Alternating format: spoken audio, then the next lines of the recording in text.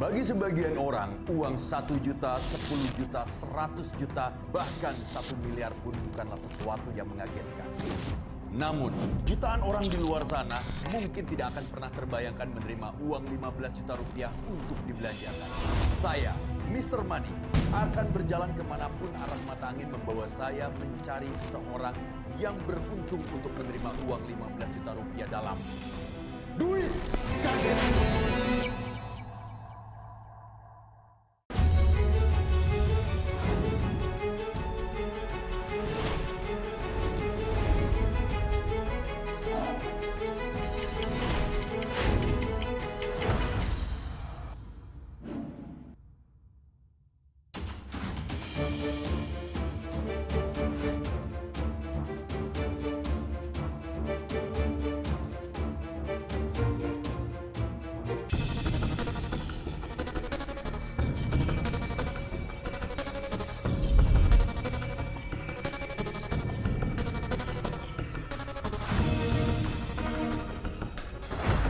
Arah mata angin membawa saya menuju kawasan Cihelet, Cibulu, Bogor.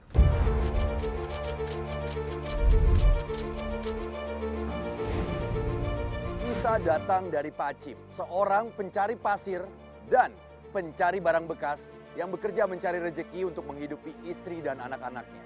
Untuk bisa mengenal keluarga Pak Acim lebih dalam, saya telah mengutus rekan saya Geraldora. Seperti apa kisah hari ini? Saya, Mr. Money. Inilah duit kaget.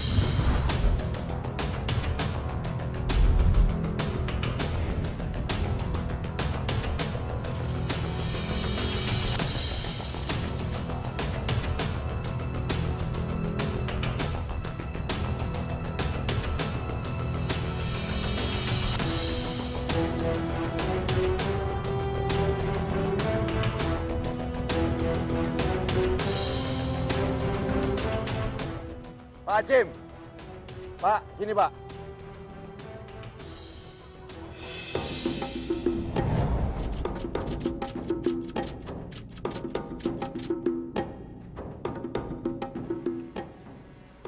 Lagi ngapain Pak di situ Pak?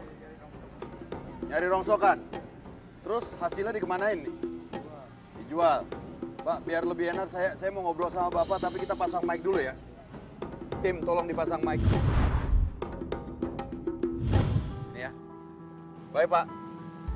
Pak Acim lagi nyari barang rongsokan. Iya. Di sini. Iya, Dari jam berapa Bapak nyarinya Pak? kadang-kadang dari jam 6. Dari jam 6 pagi. Iya. Bapak udah sarapan? Wah, belum. Belum. Baru ngopi doang dari pagi. Kopi aja. Kuat biasanya. Buat. Kenapa nggak sarapan? Gak sempat ya. Nggak sempat atau nggak ada makanan? Belum. Belum. Belum, belum, belum. Punya gitu deh rumah. Buat anak aja gitu, Pak. Di rumah nggak punya sarapan? Iya, buat anak aja ada juga gitu. Buat anak. Bapak punya anak berapa? Empat. Laki dua, perempuan dua.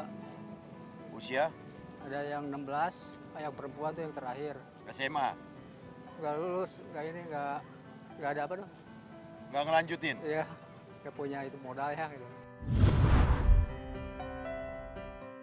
Jadi anak Bapak yang paling besar lulusan apa? SMP dong. Udah nikah sih yang paling besar mah. Udah nikah. Udah nikah? Iya, punya cucu satu. Tinggal di mana sekarang? Di sana di Is- anak Bapak yang udah nikah? bersatu. Yang nomor dua, Ini kerja apa tapi karet. usia berapa itu? 20 tahunan. Tapi jarang ini sih jarang kerja dia. Kenapa? Gak ada kerjanya, tapi Baru seminggu sih, Terus nomor tiga, baru tiga. usia berapa umurnya? Kecek 2 tahunan, 18 Pak. Yang terakhir, umurnya berapa? 16. 16. Iya, Semuanya anak Bapak 4. empat. Iya. Yang nomor empat nggak udah nggak sekolah, Enggak, enggak punya biaya, Pak. cuma SMP doang. SMP doang ya. SMP Anak Bapak Pak. nomor satu, nomor dua, nomor tiga lulusan apa? SMP doang. Bapak sebagai orang tua kenapa tidak mewajibkan anaknya untuk melanjutkan sekolah, Pak? Ya uangnya karena nggak ada. Berapa memang penghasilan Bapak sehari dari ngumpulin barang bekas ini? kalau dua hari sekali dapat 50 pak, paling gede itu pak. Paling gede Eh, per dua hari 50 ribu. iya, Jadi dikumpulin dulu baru dijual. iya dua hari sekali. Jual.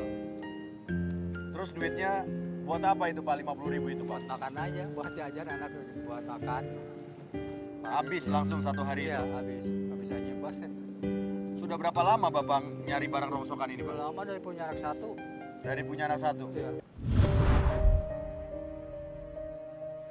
Bapak nggak pengen cari kerjaan lain Pak?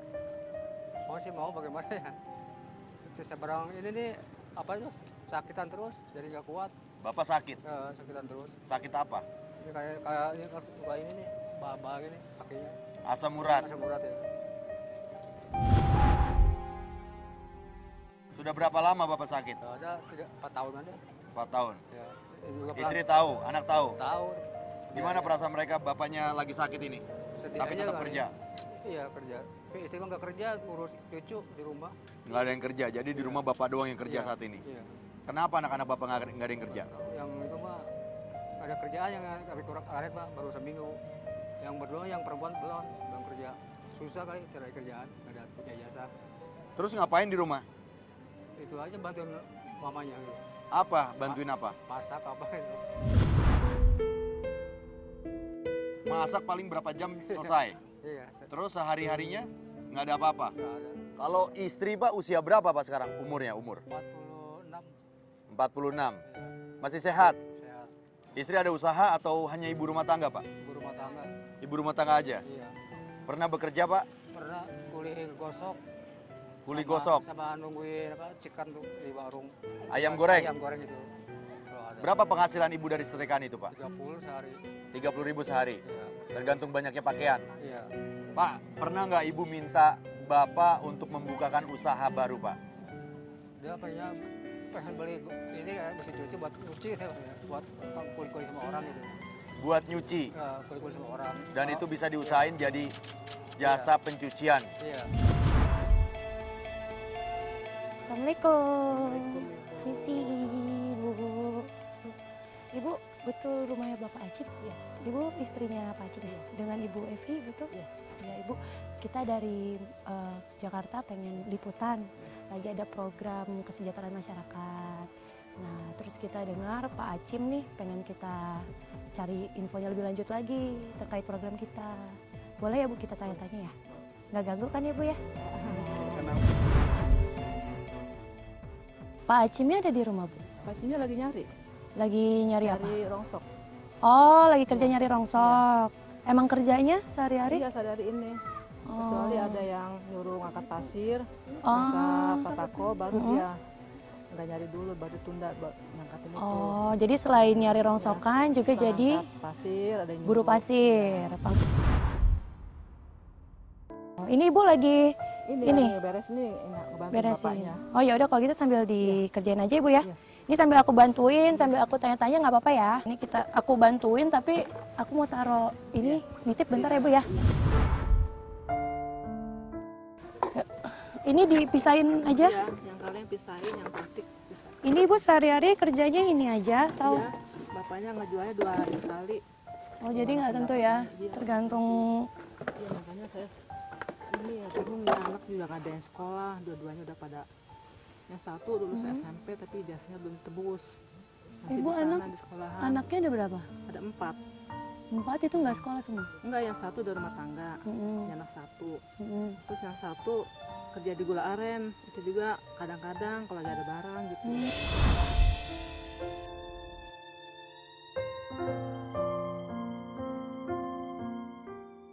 Bapak hubungan sama anak baik, baik tapi kalau anak pengen ada kebutuhan, Ah, suka marah-marah. iya Bapak bakal bilang apa Pak sama anak-anak Bapak Pak?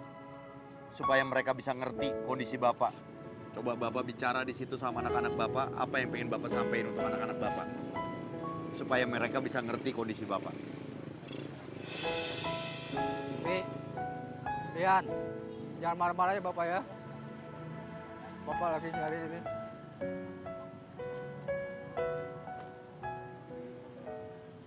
Bapak udah ini udah enggak ini kuat. Jadi rongsok terus, apa obat makan. Udah capek, nggak ada yang bisa bantuin bapak. Tapi jangan marah aja weh ya.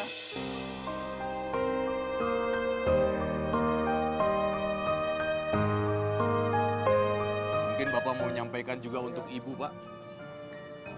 Wah, bapak maaf Pak ya, nggak bisa ini nyimponin buat itu sehari buat beli barang apa gitu. Karena untuk buat makan doang.